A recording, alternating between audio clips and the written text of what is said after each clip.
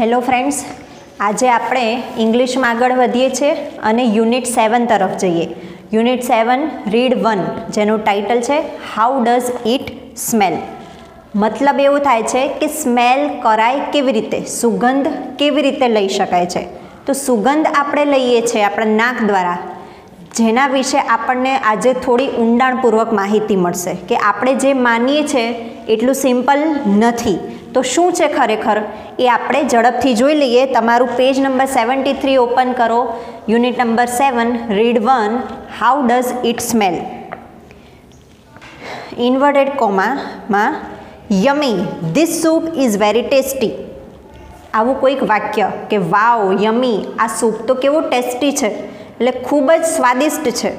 You appreciate the hot vegetable soup as you take the first sip sip એટલે ઘૂંટડો. આપણે પહેલો ઘૂંટડો, કોઈ લિક્વિડ વસ્તુનો ઘૂંટડો ભરીએ છીએ, પાણી પીએ, દૂધ પીએ, ચા પીએ, એને સીપ કહેવાશે. તો અપ્રિશિએટ એટલે વખાણ કરવા. તો વેજીટેબલ સૂપ જે ગરમા ગરમ છે, જેનો આપણે પહેલો જ ઘૂંટડો મોઢામાં ભરીએ, તરત જ આપણે આવા વખાણ કરીએ છીએ કે યમી, આ સૂપ તો કેવો સ્વાદિષ્ટ છે, ટેસ્ટી છે. બટ યુ આર રોંગ પરંતુ તમે ત્યાં ખોટા છો. Actually you mean that the soup smells good ખરેખર તો તમે એવું માનો છો કે સૂપની સ્મેલ ખૂબ સરસ છે.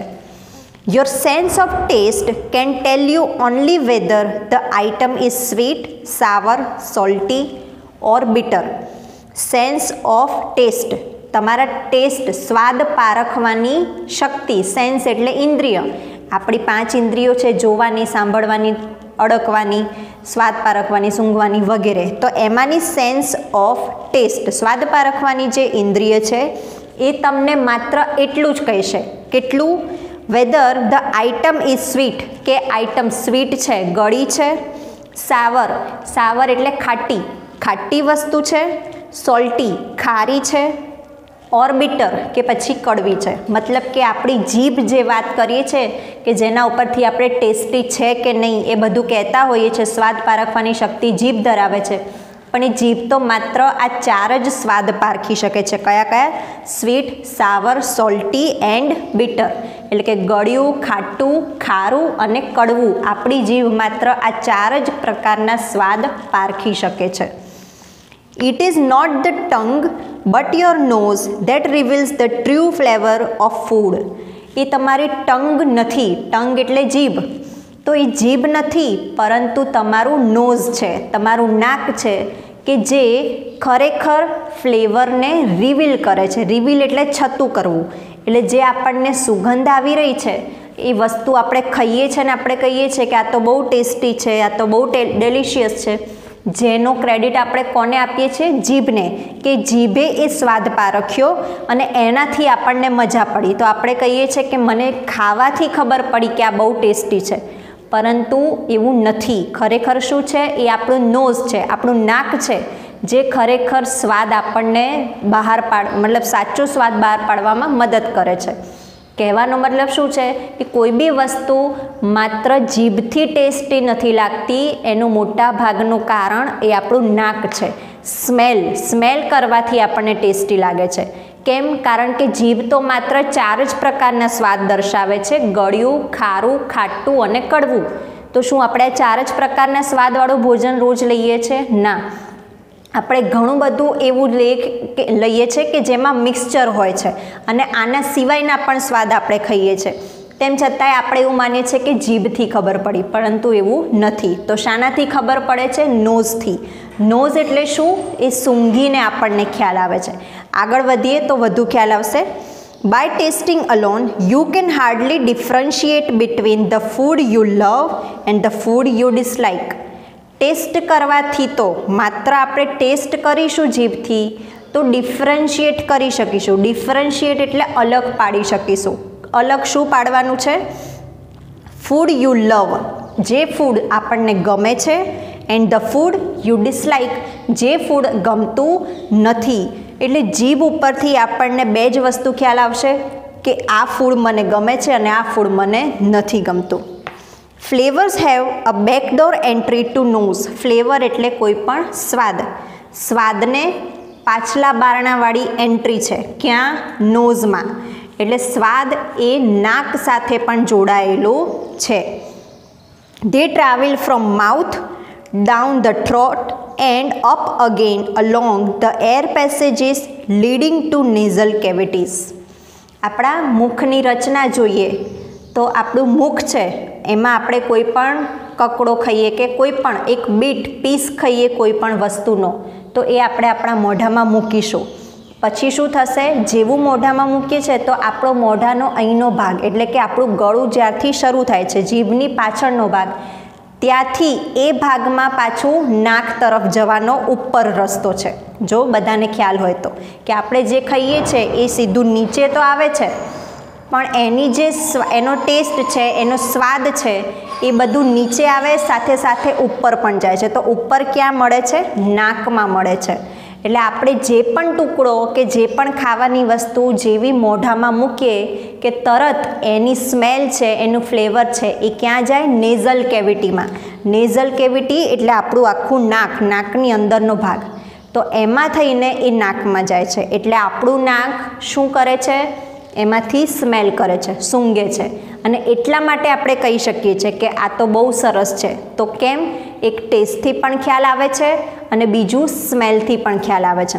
તો તમે જો માર્ક કર્યું હોય, તો આપણને ઘણી વસ્તુઓ એવી છે જે બની રહી છે કિચનમાં અને આપણને એને ટેસ્ટ કર્યા વગર જ ખ્યાલ આવી જાય છે કે આ તો બહુ સરસ છે. અને આપણે એના તરફ આકર્ષાઈએ છીએ આ બધાએ અનુભવ કર્યો હશે.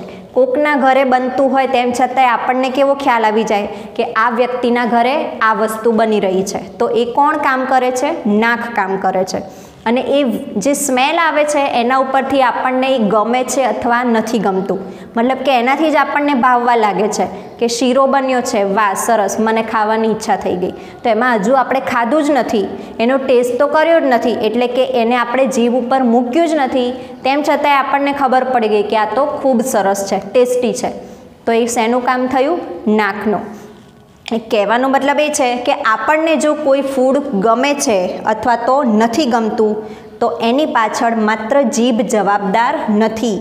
એટલો જ ભાગ ભજવે છે નાક, એટલે કે સ્મેલથી જ અને ટેસ્ટ આ બંનેનું કોમ્બિનેશન થાય ત્યારે આપણને કઈ વસ્તુ ભાવે છે અથવા તો નથી ભાવતી. એટલે અત્યાર સુધી આપણે શું માનતા હતા? કે ટેસ્ટ એ ફક્ત જીવ ઉપર આધારિત છે, પરંતુ એવું નથી. એટલે ટેસ્ટ એ નાક સાથે પણ જોડાયેલો છે. તો રિસન્ટના આપણે જો ન્યૂઝ જોઈએ તો અત્યારે કોરોનાની મહામારી ચાલી રહી છે.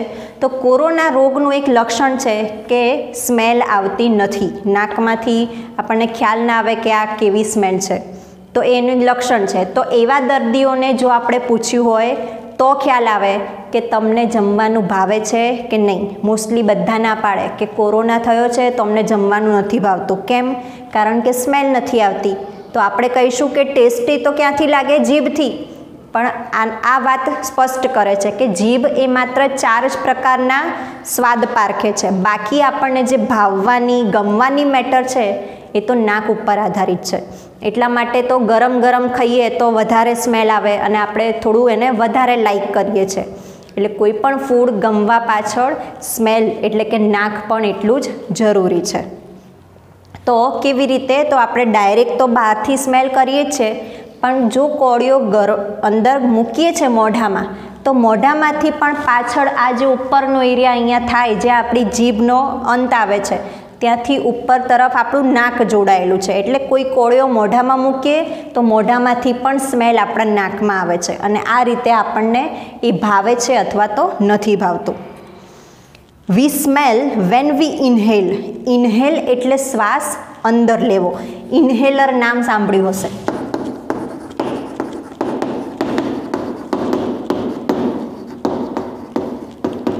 વેન વી ઇન્હેલ જ્યારે આપણે શ્વાસ અંદર લઈએ છીએ we sense flavours when we exhale exhale એટલે શ્વાસ બહાર કાઢવો.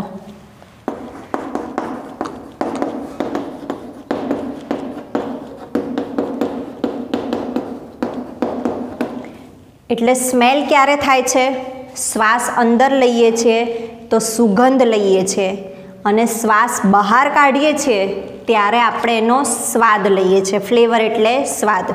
તો આ ટેકનિકલી સમજવું જરૂરી છે. તો આપણને ખ્યાલ આવશે. એટલે હવે પછી તમે ક્યારેય પણ કોઈ વસ્તુ ખાઓ અને ખાસ કરીને ગરમ વસ્તુ, કારણ કે ગરમ વસ્તુની સ્મેલ વધારે આવે છે. તો એ જ્યારે ખાવ છો ત્યારે તમે અનુભવ કરજો કે નાક બંધ કરીને ખાશો ને તો તમને એનો કોઈ જ ટેસ્ટ નહીં આવે. એનું બીજું એક્ઝામ્પલ કે નાના છોકરાને આપણે દવા ખવડાવીએ છીએ, દવા પીવડાવીએ છીએ.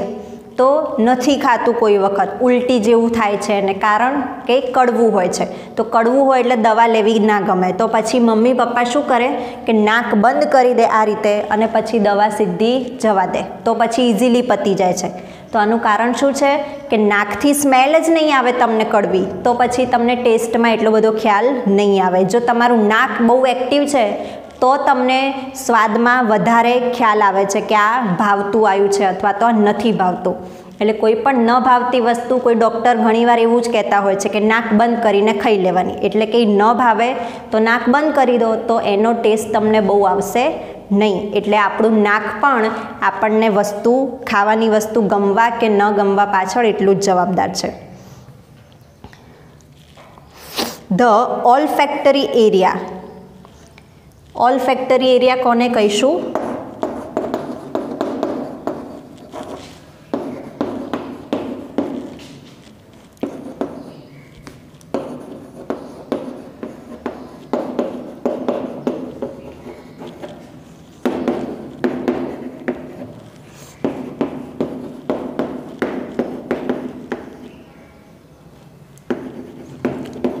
Area relating to the sense of smell એટલે સ્વાદ, સુગંધ પારખવાની જે જગ્યા છે, એ જગ્યાને શું કહેવાશે? ઓલ ફેક્ટરી એરિયા તો ઓલ ફેક્ટરી એરિયા કયો કહેવાય? નાક.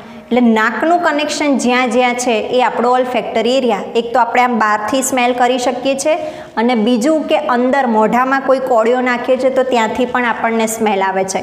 એટલે અંદરનો જે એરિયા થયો, મોઢાની અંદર, જ્યાં નાકનું પ્રવેશ દ્વાર છે બેકડોર એન્ટ્રી પ્રવેશ દ્વાર નહીં, પરંતુ પાછળનો દરવાજો, એને પણ આપણે ઓલ ફેક્ટરી એરિયા કહીશું કે જ્યાંથી આપણે સ્મેલ કરી શકીએ.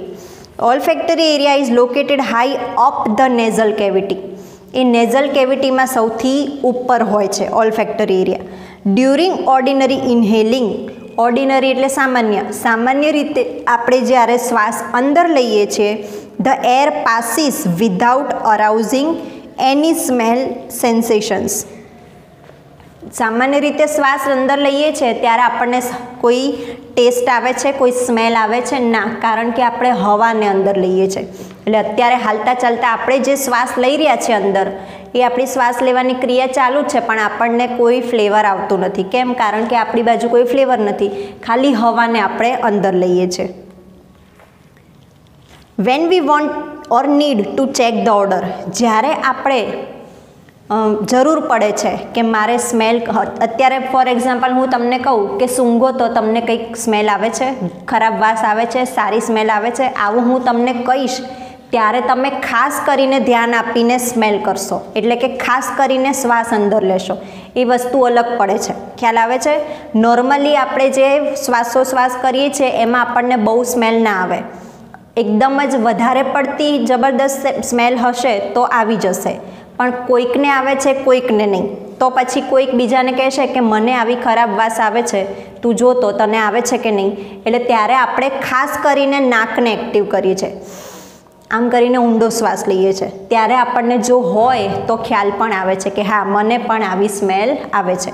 તો આ જે સ્પેશિયલી આપણે સ્મેલ કર્યું, આને કહેવાશે સ્નિફિંગ સ્નિફ કરીએ છીએ એટલે ખાસ કરીને જ્યારે સ્મેલ કરવાનો પ્રયત્ન કરીએ છીએ તો એને સ્નિફ કર્યું કહેવાય.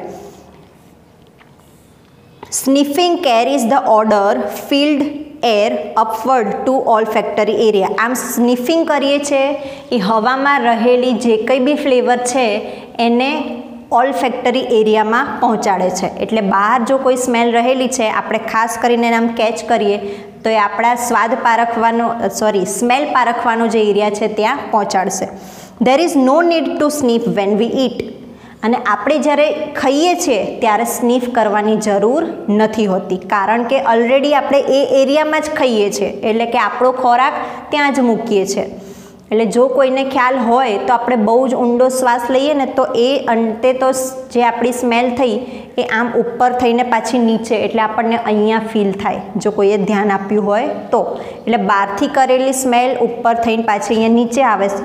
અને જ્યારે આપણે ખાઈએ છીએ ત્યારે તો સ્નીફની જરૂર જ નથી, કારણ કે આપણે આપણું મોઢામાં મૂકેલો ખોરાક ઓલરેડી અહીંયા જ મૂકીએ છીએ. એટલે ત્યારે તો સ્મેલ જાતે જ એક્ટિવ થાય છે.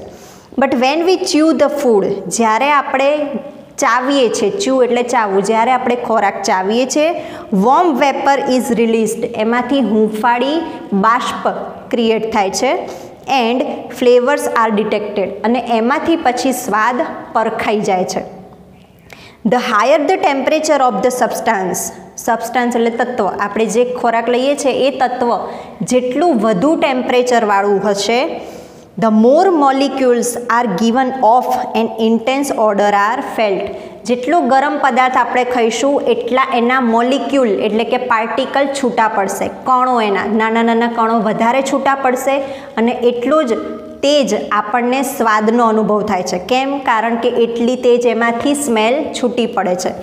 એટલા માટે જ આપણને ગરમ ગરમ ખોરાક ખાવાનું કેમ મન થાય છે? બીજા લોકો પણ આપણને ગરમ ગરમ કેમ પીરસે છે? કારણ કે એકચ્યુઅલ ટેસ્ટ જે છે, એ ગરમમાં વધારે આવે છે. ઠંડુ થાય એટલે થોડોક ટેસ્ટ ઓછો થાય. આપણને એવું લાગે છે એકચ્યુઅલી ટેસ્ટ ઓછો નથી થતો. પરંતુ શું? એની સ્મેલ ઓછી થઈ જાય છે. એટલે એના પાર્ટિકલ ઓછા થાય. ઠંડી વસ્તુના પાર્ટિકલ ઓછા હોય, કણો, અને ગરમ વસ્તુના પાર્ટિકલ્સ વધારે. એટલે જુઓ કે કોઈના ઘરે શીરો કે એવી કોઈ સ્વીટ બની રહી છે, તો દૂર દૂર સુધી એની સ્મેલ આવે છે. પણ આપણે જ્યારે બહાર પેકેટમાંથી લાવીએ છીએ કોઈ સ્વીટ, તો શું બધાના ઘરે સ્મેલ આવે છે? નહીં. કારણ કે ગરમ વસ્તુ બની રહી છે, એના પાર્ટિકલ વધારે છે, તો એ વધુ સ્પ્રેડ થાય. જ્યારે ડબ્બો ખોલીએ છીએ તો પણ ક્યારેક સ્મેલ નથી આવતી, કારણ કે વસ્તુ ઠંડી છે. તો આટલા માટે આપણને પણ વધારે ગરમ ખોરાક ખાઈશું તો મજા આવે છે, કારણ કે સ્મેલ રિલીઝ થાય છે. અને ઠંડો ખોરાક ખાઈએ તો મજા આવતી નથી. અને કદાચ એટલા માટે જ therefore mummy insists on serving dishes hots કદાચ એટલા માટે જ આપણી મમ્મીઓ ભાર મૂકે છે કે હું મારા દીકરાને કે મારી દીકરીને ગરમ ગરમ જ ખવડાવું. કારણ કે એ વધારે સારું અને ભાવે એવું હોય છે. Next page the sense of smell is far more complex than the sense of taste સ્વાદ સોરી સુગંધ પારખવાની જે ઇન્દ્રિય છે, એ સ્વાદ પારખવાની ઇન્દ્રિય કરતાં વધુ એક્ટિવ છે. એ વધારે થોડી ગૂંચવણ ભરેલી પણ છે. It is also it is almost impossible to prepare a table of objects and their standard smells તમે એના મુજબ એક ટેબલ બનાવી શકો છો, એટલે કે વર્ગીકરણ એનું કરી શકો છો ક્લાસિફિકેશન કરી શકો છો, કે કયા ઓબ્જેક્ટના કેટલા સ્ટાન્ડર્ડ રહેલા છે સ્મેલ માટે? એટલે કે સ્મેલના આધારે આપણે એક ટેબલ પણ બનાવી શકીએ છીએ. Mostly there is never only one smell for one object મોટાભાગે એક ઓબ્જેક્ટ માટે એક જ સ્મેલ હોય એવું નથી હોતું. Scientist use the term flavour profile for smells scientist વૈજ્ઞાનિક લોકો એ સ્મેલ માટે ફ્લેવર પ્રોફાઇલ એવો ટર્મ એટલે એવો શબ્દ યુઝ કરે છે, flavour profile. They have classified smells under such headings scientist લોકોએ નીચે જેટલા હેડિંગ આપ્યા છે, એ મુજબ જુદા જુદા પ્રકારની ફ્લેવર હોય અથવા તો જુદા જુદા પ્રકારની સ્મેલ હોય, એવું ક્લાસિફાઈ કર્યું છે. તો કયા જુદા જુદા પ્રકારનું હેડિંગ એમણે આપ્યું છે કે આટલા પ્રકારની સ્મેલ હોય? સ્મેલના નામ આપ્યા છે. બધે, અહીંયા જેટલા પણ શબ્દો આપ્યા છે, ethereal, aromatic, fragrant, ambrosial, garlic, burning, goaty and fetid. આ બધા કોઈને કોઈ પ્રકારની સ્મેલ જ છે, સુગંધ છે, પણ એ સુગંધના નામ આપ્યા છે. આપણને પણ ખ્યાલ છે ને કે આપણને ખાલી એક જ પ્રકારની સુગંધ નથી આવતી. આપણને જુદા જુદા જુદા બધા પ્રકારની સુગંધનો અનુભવ થાય છે. તો એમાંથી વૈજ્ઞાનિકોએ એ સુગંધના નામ આપ્યા અને આટલા આટલા ક્લાસિફિકેશન આપ્યા. એટલે કે આવી સુગંધ હોય તો આમાં, આ એરોમેટિકમાં આવે. બીજી કોઈક સુગંધ હોય તો એ ફ્રેગ્રન્ટમાં આવે. ત્રીજી કોઈક હોય તો ગાર્લિકને લગતી હોય એવું. એટલે આવી રીતે એમણે નામ આપ્યા છે. તો બધી ખાલી સુગંધના નામ જ છે એવું સમજવાનું છે. અંતે તો ગુજરાતી આપણે સુગંધ એવું જ કરીશું. પણ જુદા જુદા ભાગને લગતી સુગંધ, જેમ કે ઇથરિયલ સુગંધ ઇથરિયલ સ્મેલ, તો એને જાણે અલૌકિક સ્મેલ એવું આપણે ગુજરાતીમાં કહી શકીએ, અલૌકિક, સ્વર્ગીય. એરોમેટિક, તો એને સુગંધિત જ કહેવાય કે કોઈ ફ્લાવર અથવા કોઈ નેચરલ પદાર્થમાંથી આપણને સ્મેલ આવે તો એને એરોમેટિક કહીએ. ફ્રેગ્રન્ટ પણ એ જ કહેવાશે કે કુદરતી રીતે ફૂલમાંથી કે એમાંથી મળતી હોય એ. એમ્બ્રોઝિયલ તો અમૃતમય સુગંધ એવું નામ છે. ગાર્લિક ગાર્લિક એટલે તો લસણ. એવી તીખાશ પ્રકારની સુગંધ, લસણ જેવી. બર્નિંગ બર્નિંગ એટલે બળવું. કોઈ બળવાની સુગંધ. ગાવટી ગાવટી એટલે તો ખરેખર વા થાય, સંધિવા. એને લગતી કોઈક સુગંધ. એન્ડ ફેટિડ ફેટિડ એટલે ખરાબ સ્ટિંકિંગ ખરાબ વાસ વાસ આપણે જેને કહીએ છીએ અને સુગંધ કહેતા જ નથી કે વાસ આવી એવું કહીએ છીએ તો વૈજ્ઞાનિકોએ આવા જુદા જુદા જુદા પ્રકારના નામ આપ્યા હેડિંગ આપ્યા સુગંધના but this classification is still tentative and unsatisfying પરંતુ આપણે જોઈએ છે કે આપણને બી કંઈ માત્ર આટલી જ સુગંધ નથી આવડતી. આપણને તો આનાથી પણ જુદા જુદા પ્રકારની સુગંધ આવે છે. એટલે આ તો ટેન્ટેટિવ ટેમ્પરરી જ છે. એ સેટિસ્ફાઈંગ નથી. આમાંથી આપણને સંતોષ થતો નથી કે આટલા જ પ્રકારની સ્મેલ હોય એવું નથી લાગતું. It is believed that each natural odour of flavour is a blend of many smells એવું માનવામાં આવે છે કે એક નેચરલ ઓર્ડર ઓફ ફ્લેવર એક સ્વાદ જે છે અથવા તો ફ્લેવર સુગંધમાં પણ આવે અને સ્વાદમાં પણ આવે. પણ એક જે ટેસ્ટ થયો, એ એકથી વધારે સ્મેલનો બ્લેન્ડ બ્લેન્ડ એટલે મિક્સચર એટલે આપણને કે દર વખતે પ્યોર ફોર્મમાં જ જુદી જુદી સુગંધ આવે એવું નથી. આપણને મિક્સ ફોર્મમાં પણ સુગંધ આવતી જ હોય છે ઘણી બધી વખત. એટલે એવું માનવામાં આવે છે. Do we differ much from one another in our sense of smell શું આપણે લોકો સેન્સ ઓફ સ્મેલ એટલે સૂંઘવાની જે આપણી ઇન્દ્રિય છે, એમાં એકબીજાથી જુદા પડીએ છીએ? Of course there is some variation in sense of smell of women than that of men's. તો હા, ચોક્કસથી પડીએ છે કે પુરુષોની સેન્સ ઓફ સ્મેલ છે, એના કરતાં સ્ત્રીઓની સેન્સ ઓફ સ્મેલ સારી છે બેટર છે. તો બંનેમાં તફાવત છે. Women have more acute sense of smell than men have acute એટલે ચોક્કસ એક્યુરેટ સ્ત્રીઓને પુરુષોની સરખામણીએ, સરખામણીમાં સ્મેલ કરવાની એક ચોકસાઈ હોય છે. And this sense becomes dull with aging smoking and drinking alcoholic beverages આપણી સુગંધ પારખવાની જે શક્તિ છે, એ ધીમે ધીમે નિર્બળ થતી જાય છે. કયા કયા કારણોના લીધે? એજિંગ. એજિંગ એટલે વૃદ્ધત્વ. આપણો શરીરનો વિકાસ થાય છે તે.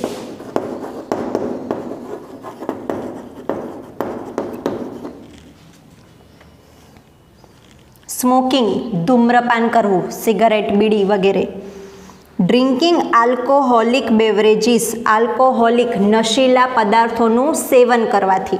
ત્રણ વસ્તુનું વધુ ઉપયોગ થશે. એટલે આ ત્રણ બાબતો જેમ જેમ આગળ વધતી જશે, એમ એમ આપણે સુગંધ પારખવાની શક્તિ ધીમે ધીમે ઓછી થતી જાય છે, ગુમાવતા જઈએ છીએ. કઈ આપણી ઉંમર વધે એની સાથે. તો એ નેચરલ છે. પણ સ્મોકિંગ જો બહુ ધૂમ્રપાન કરીએ તો આપણે સુગંધ સૂંઘવાની શક્તિ ગુમાવીએ છીએ. અને દારૂનું સેવન, એટલે કે નશીલા પદાર્થોનું સેવન કરીએ છીએ, તો પણ આપણી સેન્સ ઓફ સ્મેલ ઓછી થાય છે. When we have common cold the smell receptors located in about two and half square centimeters in upper nasal cavity become dead હવે એક પ્રશ્ન થાય આપણને કે શરદી થાય છે, ત્યારે આપણને સ્મેલ આવતી નથી. એ ઘણા બધાને અનુભવ થયો હશે કે શરદી થાય એટલે સ્મેલ ઓછી થઈ જાય અથવા તો આવતી જ નથી. તો એનું કારણ અહીંયા બતાવ્યું છે કે કોમન કોલ્ડ સામાન્ય શરદી હોય. કોલ્ડ એટલે શરદી. જ્યારે આપણને સામાન્ય શરદી હોય, ત્યારે સ્મેલ રિસેપ્ટર રિસેપ્ટર એટલે એને પ્રાપ્ત કરનારા. જે સ્મેલને એબ્ઝોર્બ કરનારા તત્વો છે નાના નાના કણો located in about two and half square centimeters જે બે કે અઢી સેન્ટીમીટરમાં જ આવેલા છે. ક્યાં? In upper nasal cavity. આપણા નાકની આમ ઉપરની બાજુ. ઉપરની નેઝલ કેવિટીમાં બેથી અઢી સેન્ટીમીટરની અંદર એવા તત્વો આવેલા છે કે જે સ્મેલને વધુ રિસેપ્ટ કરે, એબ્ઝોર્વ કરી લે. એ બધા નાશ પામે છે. ડેડ નાશ પામે. ક્યારે? જ્યારે શરદી થઈ છે ત્યારે. એટલે આપણને એમ થાય કે શરદીના લીધે સ્મેલ નથી આવતી. પણ શરદીના લીધે નહીં, પરંતુ શરદી વખતે આપણે અહીંયા નેઝલ કેવિટીમાં ઉપરના ભાગમાં બેથી અઢી સેન્ટીમીટરની વાત છે. એ સેન્ટીમીટરના એરિયામાં સ્મેલ રિસેપ્ટર આવેલા હોય છે, જે શરદીના લીધે મૃત્યુ પામે છે.